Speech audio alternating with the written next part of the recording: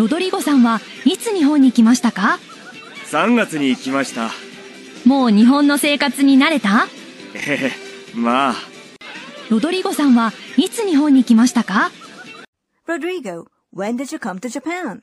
3月に来ました。I came in March.